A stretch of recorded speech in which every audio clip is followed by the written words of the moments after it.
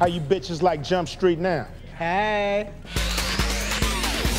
So here we go. We got more money, so we got a better headquarters. One of the ideas that our production designer had was his office should be Glass.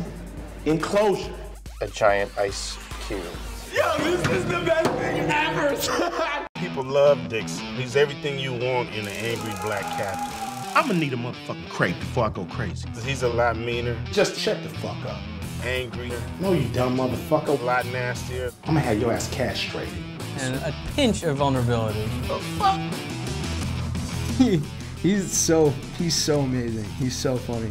One of my favorite lines that Cube has is I don't know if it's the words coming out your mouth or it's just your mouth. It's making the sound. Hate them both equally.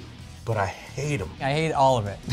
Sir, can I just say, Why every time you speak, I want to throw the fuck up? I think he was way more open this movie because he loved how he came off in the first one. He really just was up for anything. We Jump Street, and we're about to jump in your ass. Mm-hmm. Right in the crack. Damn, Jonah. You will see Ice Cube do things in this film that you have never seen in your life. What the fuck y'all doing? Y'all rationing around here? Give me the goddamn string beans. It's funny.